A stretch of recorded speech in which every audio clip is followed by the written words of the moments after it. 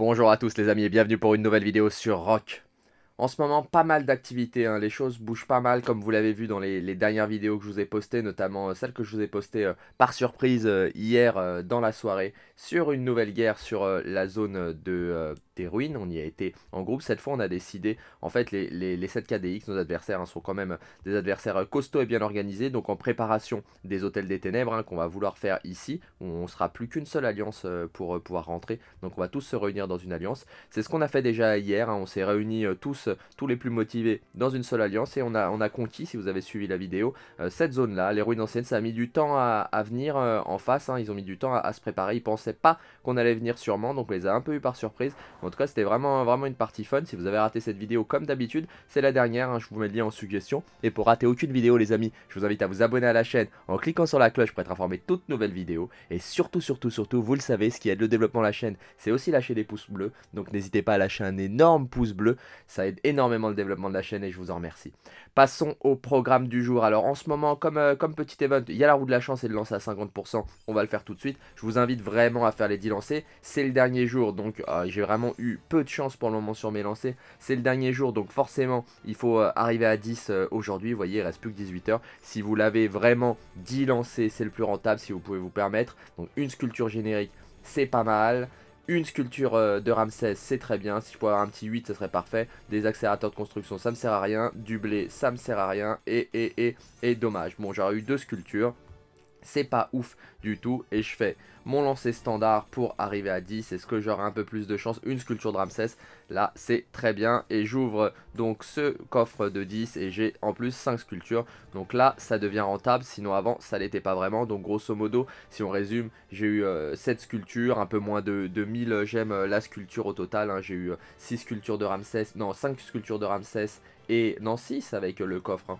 et une sculpture générique même 7 sculptures d'Amsès donc ça fait 8 euh, pour, euh, pour 6000 gemmes à peu près donc, euh, donc on est bien on est en dessous du ratio des 1000 gemmes et aussi en ce moment j'espère que vous l'avez sur votre serveur parce que si vous êtes en KVK c'est très utile. La Légion de l'Ombre pourquoi c'est très utile en KVK Car si vous allez voir, alors c'est pas là qu'il faut aller voir, on y retourne, j'ai fermé la fenêtre. Si on va voir les récompenses, regardez, si vous arrivez au niveau 15, vous allez pouvoir récupérer 100 potions de sang. Donc vous allez récupérer 10 000 points d'action et là c'est très utile pour, euh, pour arriver au palier. Je vous rappelle, le palier si vous gagnez votre KVK, il est de 200 000 points euh, d'honneur, il faut avoir. Donc euh, voilà, moi j'avance sur cette quête, je suis actuellement à 109 701. J'ai un petit stock de quoi je, vais me faire une, grosse ouverture, je dirais, de pièces. Là, j'ai un petit stock, j'en ai 5006, donc j'ai virtuellement, sans les critiques, 105 euh, 000 euh, à peu près, 105 000 points, et 115 000 points, pardon, et mon objectif est d'aller à 200 000, bien évidemment, sachant qu'il me reste 24 jours, on est un tout petit peu plus, un tout petit peu moins, pardon, de la moitié du KVK, puisqu'il dure 42 jours, donc il reste 2 jours avant d'arriver à la moitié, j'ai passé les 100 000 points, je suis dans les temps. Passons les amis à ce qui nous intéresse vraiment aujourd'hui. On a vu déjà le pairing, l'association, les, duos classiques et les meilleurs, les plus optimisés euh, pour un légendaire, légendaire, légendaire, légendaire épique. Maintenant on va faire le même exercice puisque vous me l'avez beaucoup réclamé euh, dans les commentaires de la vidéo. D'ailleurs n'hésitez pas à mettre euh, votre avis et vous vos duos en commentaire de cette vidéo aussi. Donc on va voir les épiques avec des légendaires et les épiques avec des épiques puisque c'est ce que vous attendiez. On commence par l'un des cavaliers les plus utilisés en épique, si ce n'est le plus utilisé, Pélage. Pélage, un excellent cavalier épique qui était là dès le début du jeu. C'est un peu euh, le Kao Kao, même complètement le, pas le Kao Kao, le Minamoto, le Minamoto épique. Donc euh, on l'associe en premier lieu en open field avec, euh, avec Bélisaire. Bélisaire qui n'était pas un commandant qui était là au début du jeu. Lorsque Bélisaire est sorti, c'était pour avoir côté épique un équivalent de Kao Kao avec la mobilité. Donc on, on a donc le binôme standard, je dirais Mina Kao qui est remplacé côté épique par le binôme euh, Pélage euh, Bélisaire. Un excellent, un excellent combo. On a aussi Pélage Minamoto lorsque vous avez euh, Minamoto minimum en 5-5, que vous voulez pas le mettre en premier parce qu'il n'est pas à level 60 et que vous voulez l'utiliser en pairing avec un commandant épique. C'est pas un binôme que je recommanderais moi Pélage Mina, c'est pas très efficace, vaut mieux se focus sur Mina et faire l'inverse, un petit Mina Pélage parce que c'est pas des plus performants Pélage Mina de mon point de vue. Ensuite, on a Pélage KO. Donc là, c'est l'équivalent, encore une fois, en mieux de Pélage Bélisaire. Pélage KO KO. Ça fonctionne, ça marche, c'est un bon binôme. Mais euh, c'est assez, bizarre d'avoir euh, un Pélage et un KO KO. Mais euh, c'est pas, je dirais, naturel. Comme un Pélage Saladin. Alors, vous voyez, Pélage, c'est vraiment un commandant d'open field.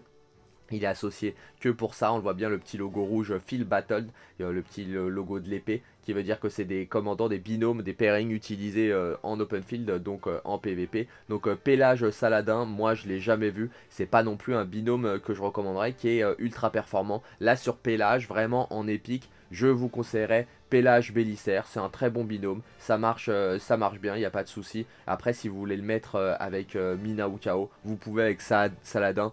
Beaucoup moins, je vous, le conseille moins, surtout que si euh, vous prenez le temps de monter votre Saladin, Saladin est vraiment un excellent commandant. Et euh, mettez-le en premier si vous le pouvez, sinon euh, Pélage Bélissaire, ça fait vraiment l'affaire. On passe d'ailleurs à Bélissaire, on continue avec lui. Bélissaire en duo avec Pélage, donc là c'est un duo qu'on voit moins, Bélissaire-Pélage, on le voit plus Pélage-Bélissaire, mais si vous voulez de la mobilité, là vous le mettez en, open field, alors Bélissaire-Pélage, c'est vraiment pour, pour, pour l'effort, ils le mettent aussi, je le vois moins utilisé pour les fort. En revanche, euh, Bélissaire Pélage, vous pouvez l'utiliser par exemple lors euh, du kill event et que vous faites euh, de la chasse aux, aux, farms et que vous voulez tuer des, farmers, des unités de farm pour vous faire des points durant le kill event ou tout simplement pendant un match d'Osiris où vous voulez aller derrière prendre des bâtiments rapidement. Pélage Bélissaire, c'est un, bon binôme, ça fonctionne, ça va vite et ça fait un peu de DPS donc c'est vraiment vraiment pas mal pour, pour les free players. On a aussi Bélissaire Ousmane qui va vous servir à... Haussmann sert principalement hein, pour son skill d'augmentation de troupes, donc ça vous permet d'avoir une grosse troupe en cavalerie, mais Haussmann vous pouvez le mettre aussi pour ça avec euh, Pélage. Je ne trouve pas que ça soit le binôme le plus performant du monde, je pense que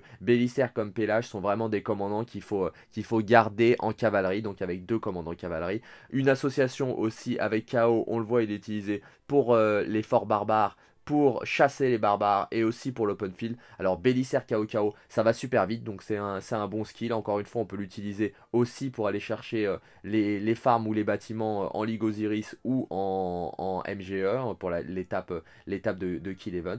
Donc c'est pas un binôme, je dirais aussi très utilisé. Moi, Bélissaire, pour le coup, je vous conseille encore une fois de le garder avec Pélage, avec Saladin non plus. Je dirais pas que ça soit le plus performant, même si il est mis en tant que, duo basique par notre ami Abus Panda, qui récolte beaucoup pour faire ces documents. J'en ai pas mal discuté avec lui. Il récolte vraiment énormément d'informations avant de produire ces documents là et il les met souvent un jour. mais tous les duos ne sont pas forcément pertinents. C'est ceux qui, sont le plus utilisés, mais pas forcément tout le temps les plus efficaces. On passe à Bébar. Bébar qui est sorti d'ailleurs en même temps que Bélissaire et qui, je dirais, est le binôme naturel de Bélissaire. Lorsque, euh, vous voyez, lorsque le jeu sort un commandant en général il nous le met par paire. Alors si on exclut certains commandants comme Ethelfleda qui est sorti tout seul ou Keira qui est sorti tout seul, vous le voyez les commandants légendaires lorsqu'ils sont euh, mis à disposition, ils sont mis en binôme et les deux euh, vont ensemble. Si on regarde Ramsès Artemis par exemple, Guan Yu, Leonidas, c'est des, duos naturels qui se complètent. Et ben là Bélissaire et, Bébar c'est pareil, ils sont sortis en même temps et euh, on a un peu les, deux styles différents, un en mobilité,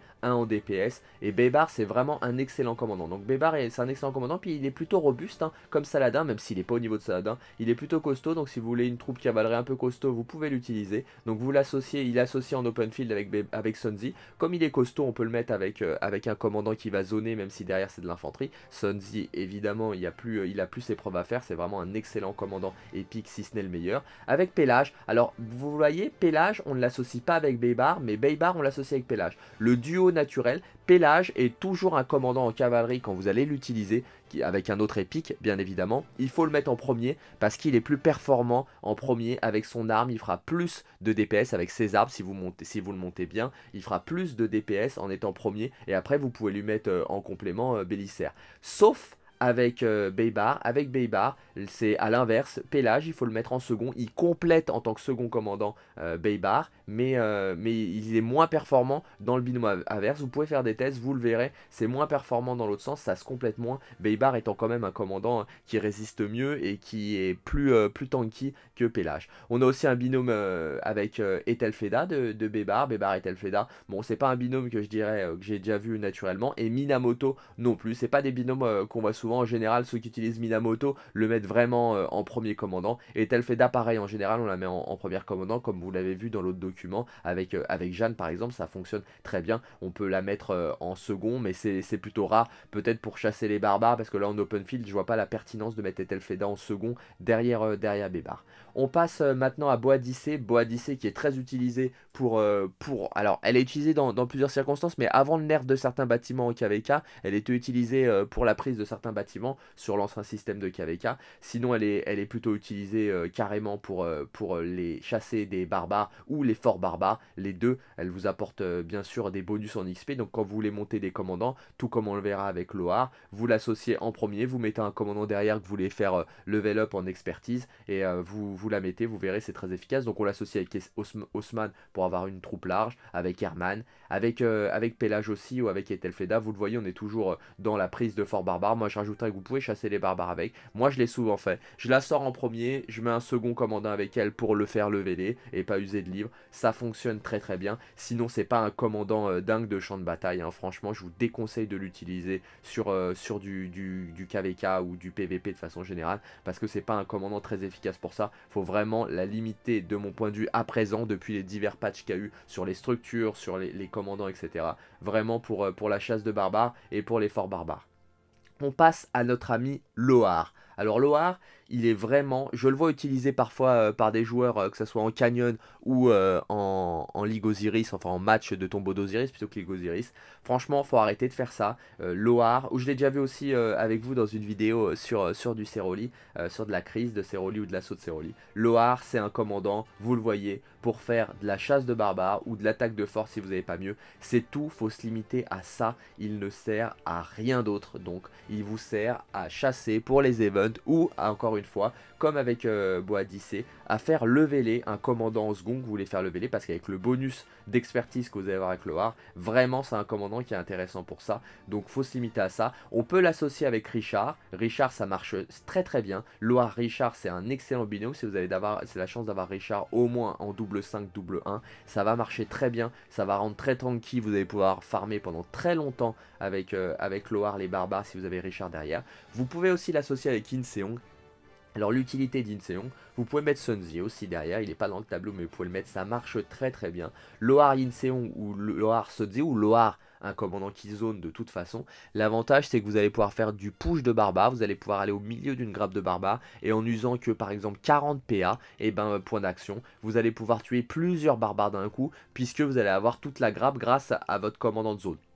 Le désavantage de ça, c'est que si euh, votre euh, commandant Loire n'est pas très élevé ou si vous n'êtes pas au moins en T4 bien stuffé, vous allez vous faire déboîter par cette grappe de barbares. Donc faites bien attention quand vous faites ce binôme, il faut quand même un, un costaud pour, bien pouvoir tanker toute cette grappe que vous allez avoir. Et dernier avec Ethelfleda. Bon là c'est pour le skill de maintien de la paix euh, de d'Ethelfleda. C'est pas un binôme de ouf non plus hein, à mon avis je l'utilise pas comme ça, je l'ai jamais utilisé comme ça. C'est pas un, binôme euh, que je dirais qui est, qui est naturel. On passe, je dirais, au plus connu des commandants épiques à présent. Sans doute, si ce n'est le meilleur, de mon point de vue, c'est vraiment le meilleur commandant épique. Si vous devez en monter qu'un, c'est lui. Moi, personnellement, si je devais en monter deux, ça serait lui et euh, Baybar, parce que je trouve que les deux sont excellents, et avec une préférence bien évidemment pour Sunzi. Euh, Sunzi, donc le commandant infanterie épique à avoir, le commandant infanterie, même le commandant épique à avoir à monter. Si vous en montez 1,60 et expertisé, c'est lui. Commencez par lui. Dans, ouais, dans mes trois préférés, il y a aussi euh, Jeanne. Donc euh, il y a Jeanne, Sunzi et Bébar. Donc on a Sunzi en association, en duo avec euh, notre ami Richard évidemment, pour, euh, que Sunzi puisse, euh, puisse amortir les coups et qu'on puisse le mettre dans une grappe d'adversaires ou, euh, même de barbares si vous voulez, même s'il n'a pas le skill, et qu'il soit, qu soit tanky et qu'il tienne. Vous lui mettez Richard derrière pour le heal et le tenir. Ça va marcher très très bien, hein, c'est un très bon binôme. Sunzi, Yin Seong pour avoir la double zone. Là aussi ça va marcher, mais ça va être plus fragile quand même comme, comme binôme. Vaut mieux faire du, du Sunzi Richard. Sunzi et Elfleda. Bon, moi je le trouve moins performant euh, ce binôme, je ne l'utiliserai pas. Sunzi, Jeanne, alors là c'est un très bon binôme pour moi aussi, puisque si vous n'avez pas la chance d'avoir Richard, vous pouvez mettre Jeanne euh, par derrière. Vous pouvez mettre Constantin évidemment si vous avez la chance de l'avoir, mais, euh, Jeanne est un très bon binôme avec Sunzi aussi, ça fonctionne. Après vous pouvez mettre aussi Sunzi Ulgin, ça marche bien, ou Sunzi Scipion pour augmenter la taille de votre troupe, ou Sunzi Osman aussi avec le même skill d'augmentation. Ça fonctionne très très bien aussi comme binôme, fait bien mal, vous avez une grosse troupe large et ça vous permet vraiment de, euh, bien combattre et, de résister euh, aux assauts ennemis surtout. Passons justement à Eul'jin, ce deuxième commandant infanterie. Eul'jin en épique qui est très utilisé, si vous n'avez pas de commandant légendaire pour ça, en, défense de ville hein, grâce à son skill de garnison. Donc il est très bien. Vous le mettez Eul'jin, Sunzi au tout début euh, du jeu quand vous avez que ça, c'est très bien si vous avez un autre, même plus tard. Moi au début du jeu c'est ce que j'avais fait. J'avais fait Sunzi, Eul'jin plutôt Sunzi dans cet ordre là, qui défendait ma ville. C'était vraiment les premières semaines de jeu. Ça fonctionnait très bien, c'était vraiment un bon binôme, sachant qu'à cette époque là, ça attaquait les villes à tout va. Bien évidemment, il suffisait que vous posiez un drapeau qui touchait un autre territoire et c'était immédiatement la guerre. Eul'jin avec Scipion aussi ou Haussmann comme je vous le disais pour augmenter la taille de vos troupes lorsque vous allez euh, faire de l'open feed. Ça fonctionne bien ça marche bien. Eul'jin il est plutôt tanky ça marche aussi euh, bien. Évidemment je préfère Sunzi mais euh, Eul'jin ça reste un, excellent commandant. Et César aussi vous voyez comme il le met avec César on le met avec Haussmann encore une fois pour le skill d'augmentation de troupes on en vient aux archers à présent et à Herman. Herman, façon en naturel, on l'associe immédiatement à Kusonoki. Ça fonctionne, c'est un bon binôme. C'est pas c'est pas les meilleurs, euh, les meilleurs euh, je dirais, commandants épiques. Si vous devez vous focus sur des commandants, les archers en épique sont pas d'une super qualité, malheureusement, par rapport. Il y a vraiment un, un, gap, de mon point de vue, un fossé entre les archers légendaires et les archers épiques. Herman, ça va être un bon commandant, ça va marcher, mais il y a quand même une grosse différence je pense qu'en tant que free player, vaut mieux se focaliser sur euh, de l'infanterie en épique. C'est là que vous aurez les commandants les plus efficaces. Ou en cavalerie aussi, ça marche bien. Les archers, c'est un peu, un peu moins bon malheureusement. J'espère qu'on aura des nouveaux commandants euh, archers euh, épiques de, qualité. Et qu'on pourra monter surtout avec des sculptures génériques. Et pas, et pas qu'on doive monter comme, comme on a vu avec des sculptures d'un event. Avec 10 par event. Donc ça va être vraiment très long à monter. Donc plutôt que faire ce système là, qu'on puisse utiliser nos commandants épiques. Ça serait bien qu'ils nous mettent euh, des, nouveaux commandants euh, de façon générale de toutes sortes. Hein. Mais archer, ça serait bien de commencer par ça en tout cas, parce qu'on manque de bons archers euh, en épique. Donc Herman Kusonogi, duo, duo naturel. Hein. Herman Haussmann pour l'augmentation de troupes, vous pouvez le faire avec Scipion, vous pouvez le faire avec n'importe quel commandant légendaire aussi, comme, comme on a vu avec César. Herman Yin Seong, alors là, c'est un binôme qu'on utilise pour la zone, pour la E, même si, puisque Yin Seong, dès qu'il est en 5-5-1-1, vous pouvez utiliser. Euh, mais, euh, mais je dirais qu'on le voit très rarement, parce qu'en général, quand vous avez un Yin Seong en 5-5-1-1 qui est efficace donc en AE et que vous voulez un bon archer, vous n'allez pas mettre Herman en premier, vous allez mettre Yin Seong en premier. Si vous avez réussi à monter Yin Seong euh, assez haut pour pouvoir utiliser en commandant premier, bien évidemment. Et le Cid, Herman le Cid. Bon, c'est des binômes, je dirais, là, qu'on prend par désespoir, parce que, à part l'avoir monté avec des coffres, c'est pas un binôme qui va être ultra performant d'avoir euh, Herman le Cid, malheureusement. Herman, pas très très utilisé, il l'a été encore une fois avant le nerf de certains, de certains bâtiments KVK, je me rappelle en, saison 1, on l'utilisait pour attaquer certaines structures, de par euh, les skills spécifiques euh, d'Herman, mais c'est pas, je dirais, le meilleur commandant épique. Pour finir avec ceux de la liste, avant qu'on passe aux au, farmers, il y a Scipion. Scipion, Haussmann, évidemment, pour avoir une méga troupe, la plus grande troupe possible, vous cumulez les deux skills d'expansion d'armée de Scipion et d'Osman. Scipion, un excellent commandant aussi, hein. vraiment un très bon commandant. Moi je l'ai beaucoup joué au début du jeu. Il est très très bien, il fait très mal, il tank bien. Il est un peu euh, intermédiaire comme euh, beaucoup de commandants en leadership. Hein. Il a un peu euh, ce multi-profil qui le rend efficace. Scipion, Jeanne, ça marche aussi hein, de mettre Scipion avec Jeanne, puisque derrière vous avez les skills de Jeanne qui vont vous permettre de maintenir un haut niveau votre Scipion et, et l'assister vraiment de façon efficace. Et Scipion César pour le skill d'expansion d'armée encore une fois. C'est pas un binôme qu'on voit, qu'on voit souvent. Hein. C'est rare d'avoir un, Scipion euh, César. Pour compléter cette liste, on a la liste de tous ceux qui sont considérés comme des farmers. Vous voyez, on a de l'épique et de légendaire. On a vraiment les deux. Hein. On a même des commandants euh, normaux. On le voit, il y a vraiment, vraiment tout le monde dans cette liste. Donc, pas besoin de détailler, hein, les farmers c'est les farmers. Regardez bien quand vous voulez mettre un commandant de farm, souvent c'est sa deuxième ou sa troisième compétence qui est, euh, qui est une compétence de farm. Donc pas besoin de vous embêter à attendre la première compétence à 5.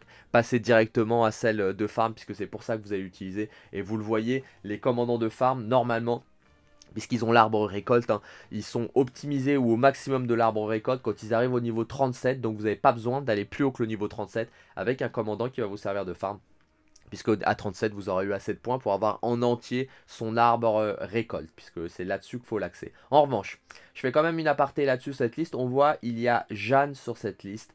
Jeanne est pour moi un excellent commandant épique et clairement, il n'est pas que secondaire. Hein. Vous pouvez l'utiliser euh, en commandant premier. C'est un très bon commandant, euh, Jeanne. Vraiment, elle va faire, euh, elle va faire le taf. Donc intéressez-vous à ce commandant. N'hésitez pas non plus à le monter.